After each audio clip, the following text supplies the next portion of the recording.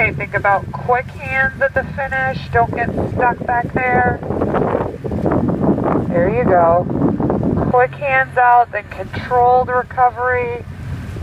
Jump on the legs from the catch.